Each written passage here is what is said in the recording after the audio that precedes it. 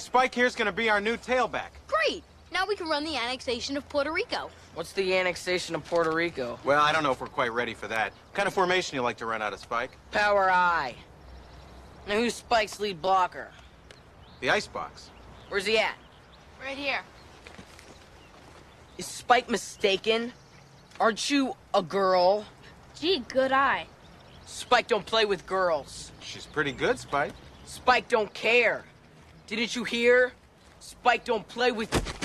I can tackle anything, anytime, anywhere. Got that? Look, you berserk, berserko Barbie doll.